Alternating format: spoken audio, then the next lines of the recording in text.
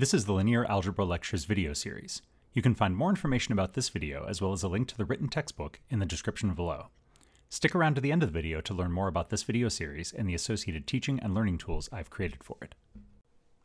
Lecture 11, Non-Homogeneous Linear Systems. Our objectives for this lecture are to describe the solution set of a non-homogeneous system in parametric vector form, understand the relationship between the solutions of ax equals 0 and ax equals b for the same matrix A, and write a short proof of a statement about vectors.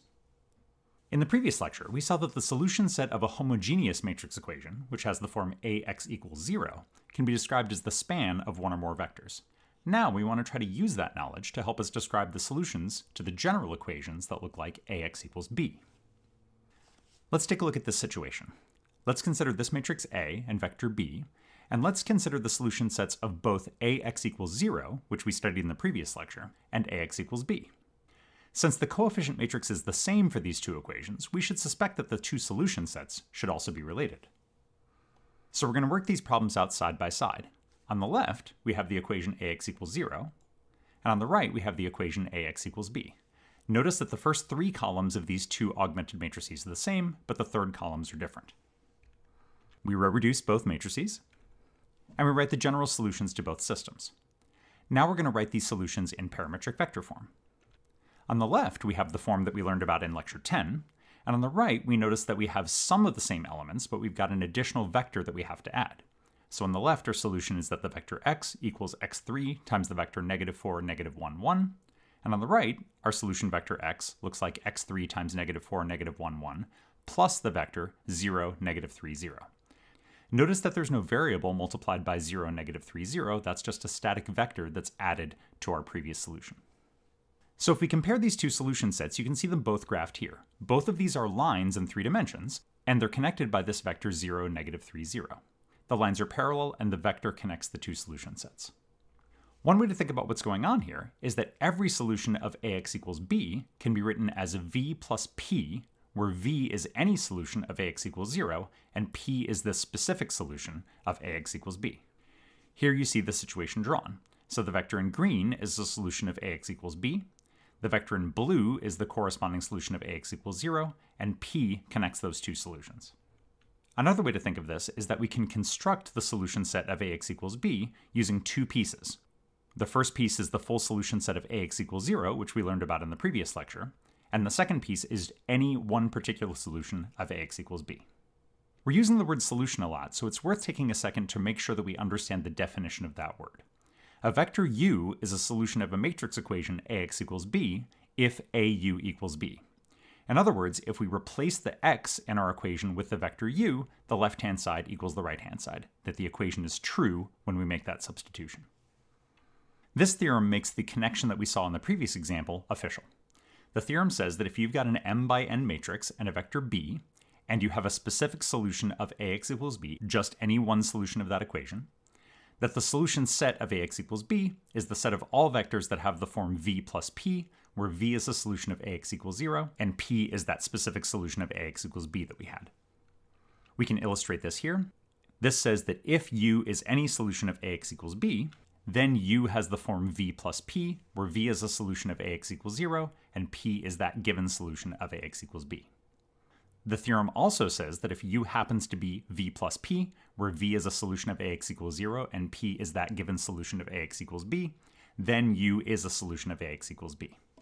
So to prove our characterization theorem, we would have to prove both of these statements. We have to prove that if u is a solution of ax equals b, then u has the form v plus p, and if u has the form v plus p, then u is a solution of ax equals b.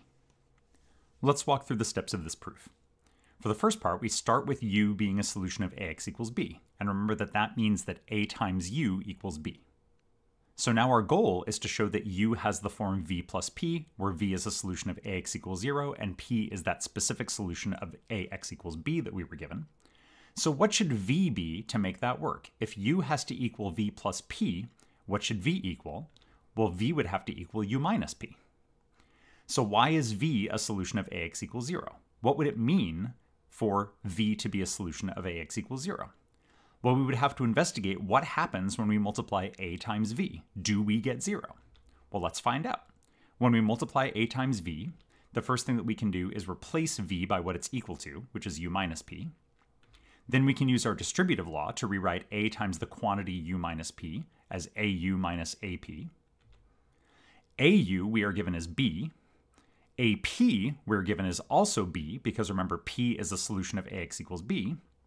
And then b minus b equals 0, and that shows that av equals 0, which means that v is a solution of ax equals 0. And now u has the form v plus p, where v is a solution of ax equals 0, and that's what we wanted in this direction of the proof. Now going the other direction, we're given that u has the form v plus p, where v is a solution of ax equals 0, and this time our goal is to show that u is a solution of ax equals b. How would we show that? Well, again, what we would need to show is what happens when we multiply a times u.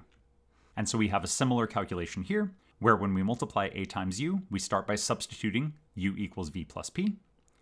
Then we use our distributive rule. We know that av equals 0 because v is a solution of ax equals 0.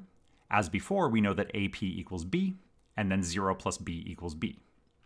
And since au equals b, that shows that u is a solution of ax equals b.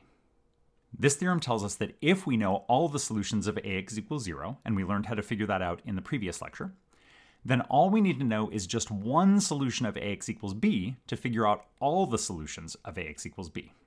But it's important to note that even though ax equals 0 always has at least one solution, namely x equals 0, it's possible for ax equals b to not have any solutions. So for this theorem to work, we have to have at least one solution of ax equals b to bridge the gap between the solution set of ax equals 0 and the solution set of ax equals b.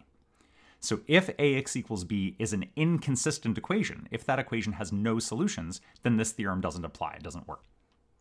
Now, the theorem also illustrates a general thing that we're going to be doing a lot in this course, which is proving properties about vectors. For right now, we're going to focus on properties that have the form if vector v has property x, whatever that is, then v has property y. The basic structure of what that proof would look like is listed here. We start by saying let v be a vector with property x. And then we have to think about what does that property actually tell us about v? Using our definitions, using our knowledge of the language of linear algebra, what does that actually tell us about the vector v? And then we think about what we would have to do to show that v has property y. What would we have to demonstrate? What would we have to show to show that v has property y? And then we do that. We write out those steps explaining that property. So here's an example. Let's say we have an m by n matrix and w is a vector in Rn. We want to prove that if w is a solution of ax equals 0 and c is a scalar, then cw is also a solution of ax equals 0. So we start by writing let w be a solution of ax equals 0. And then again, we remember that definition of the word solution. What does that mean? What does it mean for w to be a solution of ax equals 0? Well, it means that a times w equals 0. If we substitute w in for the x, the left-hand side equals the right-hand side. Now we have to think about our goal. How are we going to show that CW is a solution of AX equals 0? Well, we would have to figure out what A times CW is. And now we can use a compatibility property. We can move that scalar out and write that as C times the quantity AW. We know that AW is 0, so we can do that substitution. And then it doesn't matter what that scalar C is, C times the 0 vector equals the 0 vector. And now we've shown that A times CW is 0, so that means that CW is a solution of AX equals 0. Thanks for watching this video lecture. You can find links to the other videos in this series and to the written textbook in the description below. If you're an instructor, you can contact me for more information about the over 300 online linear algebra homework problems that I've created for the free MyOpenMath platform.